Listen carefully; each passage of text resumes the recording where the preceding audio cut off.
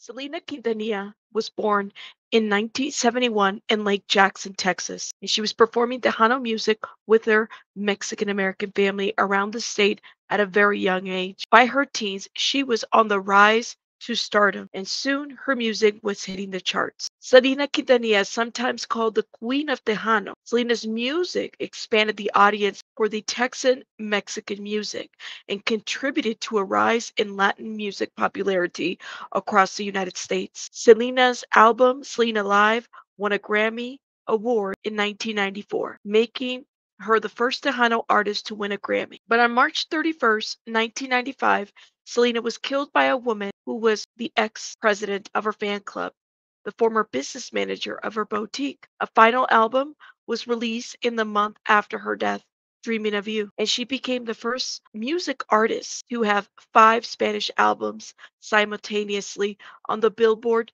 200s list. Now, let's get into it.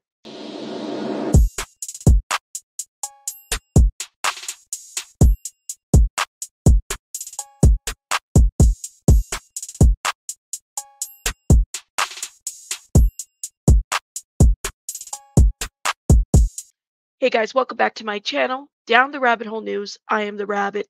Thank you so much for joining me. Now, what I wanted to do today is really get into the nitty gritty details of the series, the allegations that they're making, and also really dispelling some of that information. The recent docuseries, Selena and Yolanda, The Secrets Between Them, has caused such social media controversy. Yolanda Saldivar is getting her own fucking show. Pinche Yolanda, los Yeah. pinches huevos, güey. Low key though, like, I'm interested to what this bitch has to say. I think Yolanda is telling the truth. What if Yolanda was really like a uh, punching bag? You know, what if she really was a good person and it just, you know, I mean, I, I, you gotta, you gotta be realist, a realist too. Uh, You yeah. gotta see that, that there's a truth behind everything. Like it don't matter what it is, and I don't believe in social media coincidences. controversy. So I wanted to make sure that we broke that down a little bit more. I created a playlist linked in the description box for your review on the topic. There's other videos in there. Check them out. And some of those videos are while I'm live. This is a pre-recorded. The recent docu-series, Yolanda's family, Tina, Veronica, and Ernesto, sit around the table using Elida's storage files, which Tina says it's her legacy. This is not a simple case of murder. This is what this proves.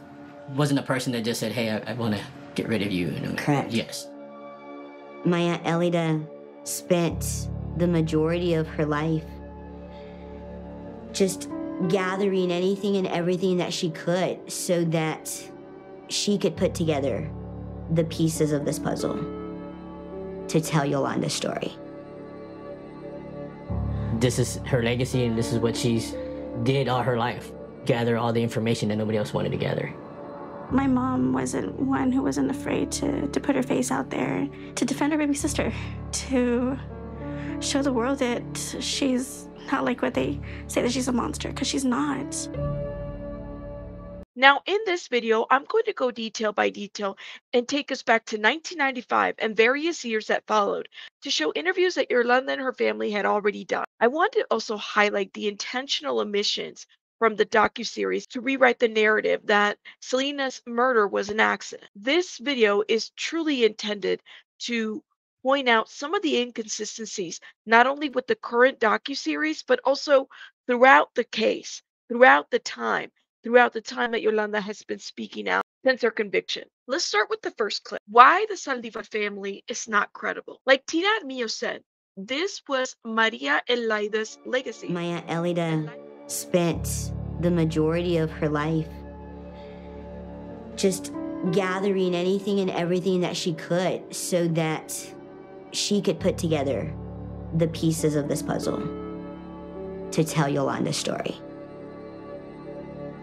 This is her legacy, and Maria what she's- Elaida Saldivar did an interview in the early 2000s to discuss a love affair that Selena was having with Dr. Ricardo Martinez. In this interview, Elaida shares the information with the reporter that Yolanda had shared with her about a hidden camera that Selena had found during one of the encounters with Dr. Martinez. In this clip, Elaida confirms that Dr. Ricardo Martinez was recording this sexual encounter with Selena. The reporter asked Elida, How did Yolanda get a hold of these recordings? Elida believed that Selena and Yolanda obtained them and hid them weeks before the murder of Selena.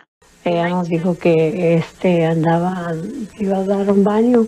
Cuando agarró una toalla, algo se, le, se movió y entonces ella se fijó que era y era una cámara, Una cámara escondida. una cámara escondida ¿Que daba hacia dónde? Al cuarto de recámara. Del doctor Martínez. Ahí se quedaba el doctor Martínez. Y la intención era grabar al doctor Martínez y a Selena teniendo relaciones sexuales, ¿cierto? Pues eso es lo que dice la carta, que eso es lo que estaba haciendo él, que eso fue lo que hizo. ¿Quién le entregó estos videos a Yolanda? ¿O cómo los, cómo los obtuvo ella? Pues yo creo que ella los agarró y lo le dijo a Salina lo que iba a encontrar en el apartamento. Y si no estoy eh, en error, este parece que dijo Yolanda que unas semanas antes de que pasara la trajera, ah, ella y Salina los vieron. ¿A cuáles cajas? Una caja que usted ha referido no se encuentra aquí, está en Ciudad de México o está en México y esa caja vendría a, vis- a vislumbrar Oh, un ese- panorama ese- diferente. ese- pues, ¿Qué es esa caja de seguridad? ¿Es una caja de seguridad? Sí, eh, es, es unas cosas que yo, que, que ella a mí me... Ella usted le dio. Sí. me ¿Qué es lo que tiene esa caja de seguridad? Te- te- Tienen documentos, ah, videos, cartas, recibos, que enseñan mi, mi inocencia. ¿Y dónde está esa caja? Pues eso no lo voy a decir a usted, porque es... ¿Pero por qué nunca ha venido a corte esa caja? Porque, por, por eso estoy peleando en la corte ahorita, pues está mi peleación pendiente. ¿Pero nueve años? Eso se dice de la corte de- del estado de Texas. Yo todo lo que sé que pues mm, sí existen, que sé que hicieron que están en un banco, pero no sé en dónde. Sé que manda un pago ya cada mes, pero no puede decirle en qué banco están. Es decir, esos videos están resguardados para evitar que alguien los tome o, Sí, ajá, o se metan aquí a su casa Exacto, a exactamente. In 1998, Yolanda did another interview where she claimed to have discovered videos weeks before before Selena's murder. Yolanda claims that two weeks prior to the murder, she discovered videotapes damaging to Selena's career, and that she had a diary of Selena's that corroborated information on the tapes. In his purported letter, Lorenzo Salinas claims he was hired to beat up Yolanda to retrieve the tapes and diary as part of a plot to extort Selena. Yolanda claims she was attacked, but managed to get away. Now, remember this name right here, Lorenzo Salinas? Please remember that name because it's very important as it's brought up in the docu-series. Again, the Saldivar family mentioned this name. Keep that in mind. Oh, that is very interesting. That's a letter that she got in prison from. Lorenzo?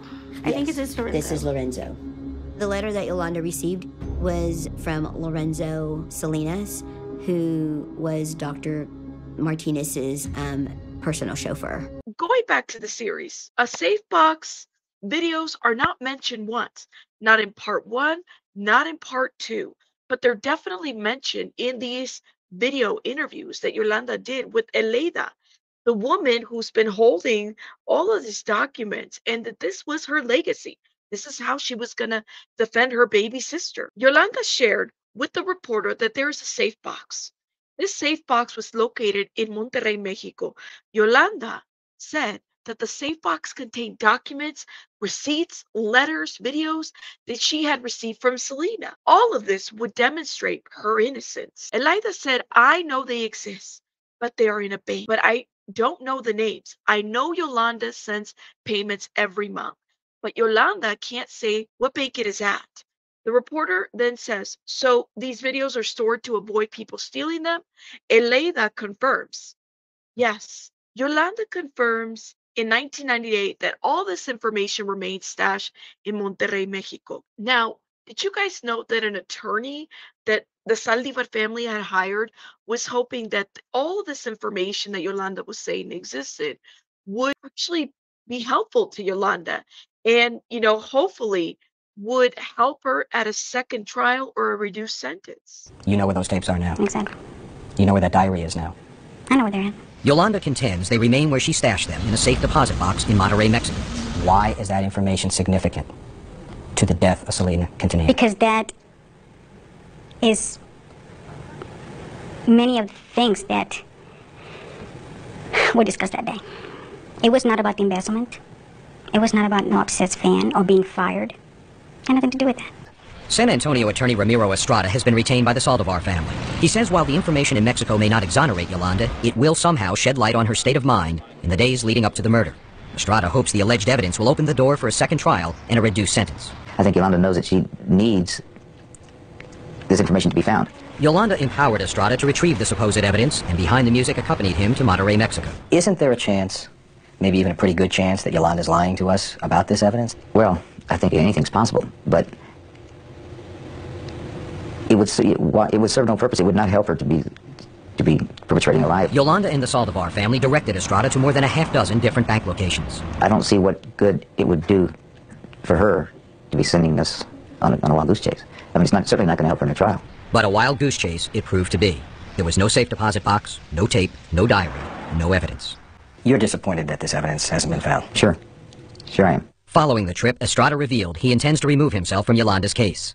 Now, here's my question. If the Saldivar family is using Eleida's information that she's been holding on to, where is the secret box? Why wasn't the secret safe box mentioned? Why wasn't the family talking about the fact that they had retained an attorney who went to Mexico looking for all this information that could potentially reduce Yolanda Saldivar's sentence, exonerates Yolanda Saldivar, or at least prove her innocence? Why wasn't any of this mentioned in this 2024 series. Aleida confirmed in this Spanish interview that Yolanda was sending payments, monthly payments, to sustain a security box in Mexico. But did Tina Armillo or the Saldivar family show that in episode one or two? No. Now, who in their right mind would sit in prison for nearly 30 years having information that could release them, exonerate them, reduce their sentence. This isn't the life of David Gale. Yolanda is not David Gale. How credible is Aleida and her legacy? How credible is the information that you are now receiving from Tina Armillo and the Saldivar family. There were several allegations that Yolanda Saldivar made and has made throughout the years.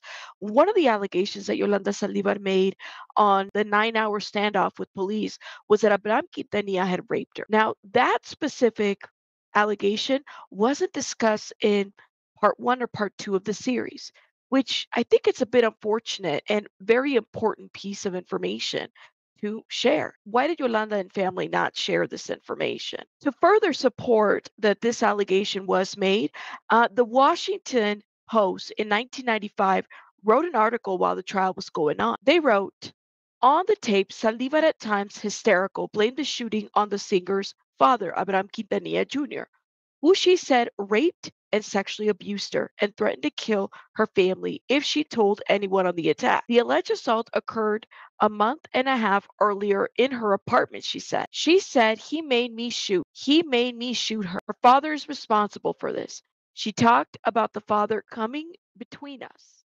They say Saldivar inflicted even more pain beyond Selena's senseless murder. Not only did she do that, but then she tried in public to destroy our family accusations of my false accusations about my dad, about our family. These guys that are over there talking about it, you know, and they come up and they tell you things, and it really pisses you off because they're not telling the truth. I uh, was very uncomfortable with all the the lies and all the false accus- accusations against me. Uh, of course, it bothered me, but uh, I think uh, that at the end, the, the, the truth is going to come out. The truth is the truth After the trial was over, this clip shows how hurt the family was hearing these types of allegations that Yolanda Saldivar had made during the nine hour standoff. And Abraham Quintanilla was questioned about these uh, allegations from Yolanda on the stand and privately with the district attorney. The district attorney wrote a book that I definitely would recommend if you want to get in detail and which is a lot of where I'm pulling some of this information from. Justice for Selena, the State versus Yolanda Saldivar, and it was written by Carlos, Carlos Valdez. Now, this book is not available on Audibles, which is unfortunate because it is a very heavy read, easy read. He goes into the uh, different details of the law. Would recommend it if you're wanting to understand a little bit of what happened in 1995 and how this case was happening in court. But what I thought was very interesting um, that Carlos Valdez wrote, the DA that tried this case, was the fact that he had pointed out the various allegations that Yolanda Saldivar had made about being either assaulted, sexually assaulted, raped, and whatnot at different times. It was almost as if she would use rape to try to avoid any type of accountability or repercussions or confrontation with the family. This is what was written in the book, and I just wanted to point that out. And I thought that was interesting that he pointed that out because in the series, part one and two, a rape is never mentioned. Abraham Quintanilla raping Yolanda is never mentioned. Matter of fact, the family Tina Armillo and the Saldivar family never really go into detail about any type of rape. They said that she was assaulted. Yolanda had gone back to Mexico on a business trip. She felt so uncomfortable that she took her older sister with her. And on the way back, they stopped at a Whataburger, I believe it was, and um, Yolanda went in to get some food. It was around 8 o'clock in the morning, so I went in there and I ordered, and uh, what it was been ordered, I went to the bathroom and I was washing my hands. So these men, I, I had no idea who they were. just started pushing me against the mirror. I said, what, what do y'all want? And just one of them just hit me right here and, and, and pushed me around, and, and I, I almost fell. I didn't know what they were after. I did not know, you know, if they were going to kill me or, or, or they were going to take me. You know, all those things were coming to my mind. And I guess somebody heard that it was rambling inside the, the restaurant I was yelling, that they ran out. And so, oh my God, I started feeling shaky and I, I didn't know what was happening. And so I left. I didn't even pick up the, the, the stuff. And I got in the car and I just told my sister, let's go, we have to go, we have to go. And she said, what happened? And I said, I said, I just, I just, I just got assaulted. We, we just have to go, we just have to go. For many years, there was no proof this assault happened. You had to take Yolanda at her word. But then there was a letter that popped up. I'm trying to remember who this was from. Oh, that is very interesting. That's a letter that she got in prison from. Is this Lorenzo? I think this is Lorenzo. This is Lorenzo. The letter that Yolanda received was from Lorenzo Salinas, who was Dr. Martinez's um, personal chauffeur, indicating that attack did happen, and it was the doctor who ordered it. Oh yeah, so he says right here, él me dijo que tú ibas a venir a Monterrey la semana del 31 de marzo. Él dijo que ocupara a unos hombres para que te asaltaran, para que tú no sus sospecharas nada. And so that's what she's been saying all along, like, somebody beat me up. To this day, people don't believe that she was attacked, or people say that, that she made it up. Although this guy is saying, I'm the one who hired those guys. So it did happen. Yeah, it happened. effect of using and they use Lorenzo Salinas' letter as a means to show how the doctor could have set this up. Potentially, even Abraham Quintanilla, they lead people to believe that, but don't really have any information to substantiate that. Now, let's get back to this Lorenzo Salinas letter because Tina Armillo and the Saldivar family are given so much weight to this letter that they couldn't really find out who actually sent it. Uh, allegedly, in 1998, Yolanda told a reporter that Lorenzo Salinas was somebody that she and Selena met in Mexico and that he censors this letter and they can't even locate this guy. But apparently in this letter, it says that the assault that happened to Yolanda was essentially a hit set by the doctor. questions is understandable. But then, as the interview continues, she jumps at an opportunity to supposedly tell all. This is a letter that your family has said you received here in prison. Is it? Mm-hmm. Behind the Music was given two letters by the Saldivar family prior to this interview. They are allegedly from a man named Lorenzo Salinas, who Yolanda says she and Selena met while doing business in Mexico in early 95. The Texas Department of Corrections confirms the letters were mailed from outside the prison. But during an exhaustive seven-month investigation, Behind the Music was unable to find Lorenzo Salinas or confirm his existence. He tells me exactly what I've been saying all along. Which is what? That he feels his conscience is killing him because he knows the truth. And he knows that he feels that, or he thinks that I have things that will eventually say it all. Listen, we've been waiting for that eventually for quite some time. And Do you? yes, Yolanda claims that two weeks prior to the murder, she discovered videotapes damaging to Selena's career, and that she had a diary of Selena's that corroborated information on the tapes. In his purported letter, Lorenzo Salinas claims he was hired to beat up Yolanda, to retrieve the tapes and diary as part of a plot to extort Selena. Yolanda claims she was attacked, but managed to get away. You know where those tapes are now. exactly. You know where that diary is now. Substantiate that. Also, another point to make while Yolanda is recounting these details about the assault, um, about what happened the morning, um, and as she's giving her statement to police, she talked about the fact that she was asleep and she was awoken by Selena. She doesn't talk about the fact that she w- she called Selena, that Selena took her to the emergency room, that there was multiple medical professionals that testified to the fact that she didn't look like she had been sexually assaulted. There was no evidence of that looking at her. Uh, none of that gave that. There was markings that were shown in the docuseries, but nothing of a sexual nature. When Selena took Yolanda Saldivar to the hospital, she was examined by two nurses. And she's saying, oh, yes, these two big men beat me up. And the nurses, you know, look at her body, and we, we have the pictures from her arrest. And she's got these like brown spots that are almost like bruises that were healing, or like maybe a scratch or two. And the nurses told me that Selena was just sitting there looking with her arms crossed, shaking her head, like this is not matching what she told me. It was just not believable. I mean, the light bulb went off in Selena's head, I'm sure. They say that she lied about being assaulted, but I've seen the letter that states the attack did actually happen. Nothing of a sexual assault had been shown in part one and two. So you kind of have to wonder, like, how do you bypass that information when you all have put this out there for people to take on? It doesn't quite make sense. And let me read a little part of Attorney Valdez's book.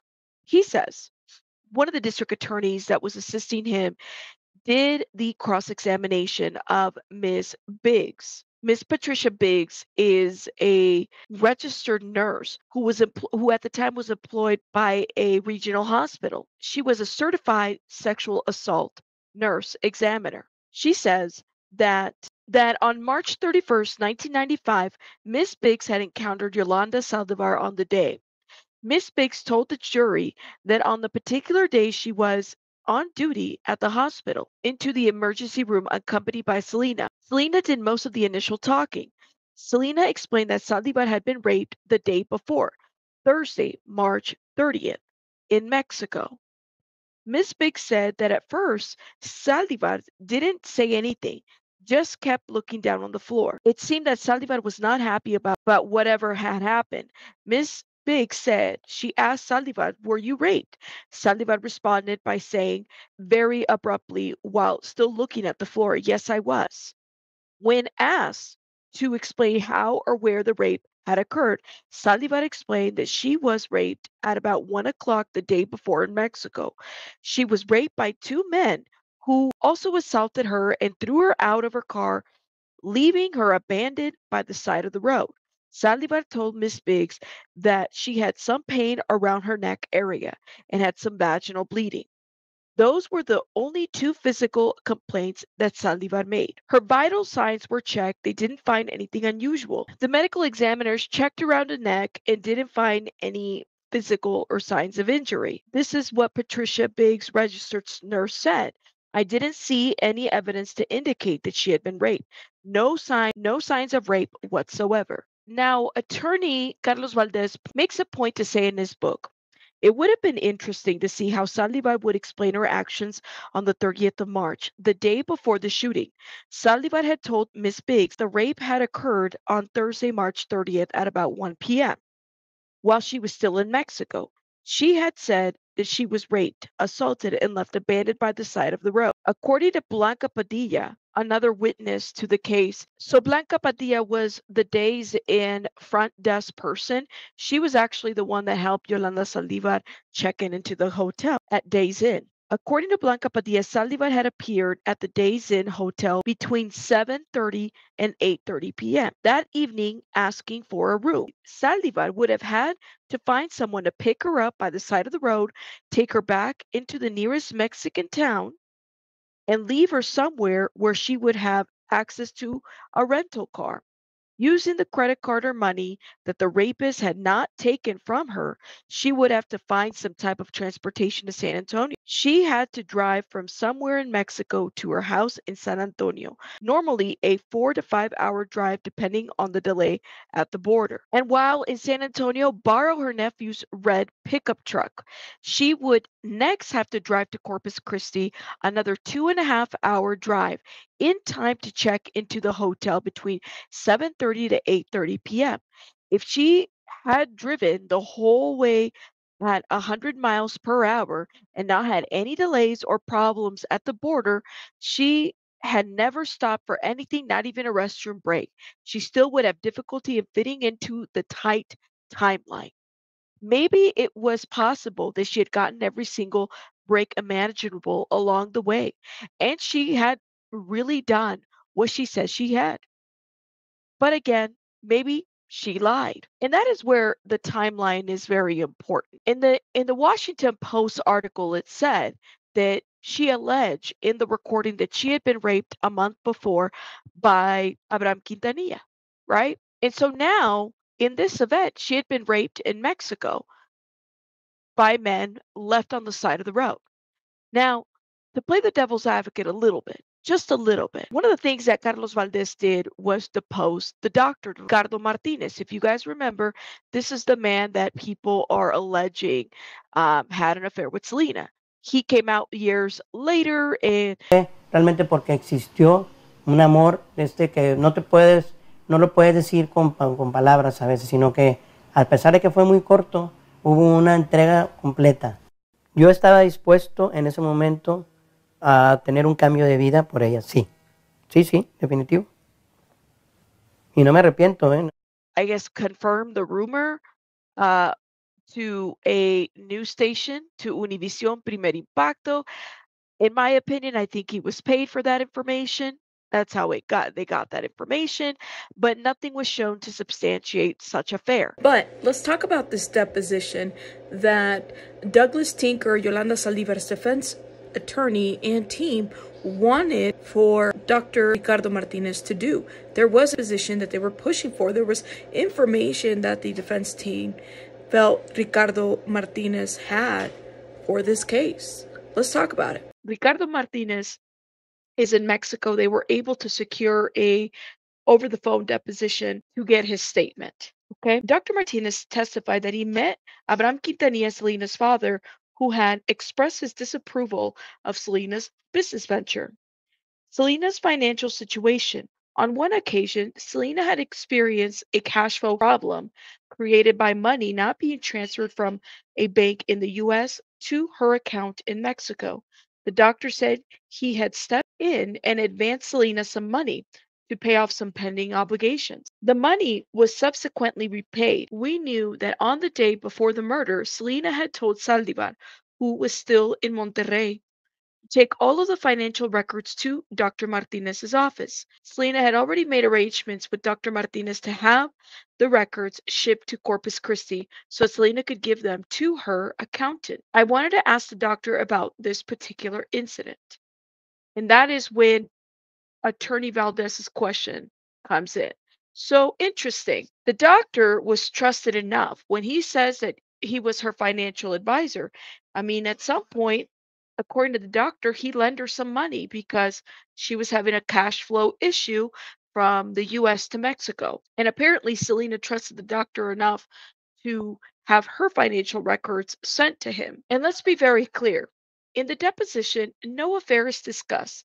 Dr. Martinez doesn't say anything about an affair. If anything, he really places himself as somebody of a trusted person who had a friendly relationship with her. I don't know. Let me know your thoughts in the comments. And again, you can find some of this in this book. Attorney Valdez question She was supposed to take some bank papers to your office. Is that right? Dr. Ricardo Martinez answers yes.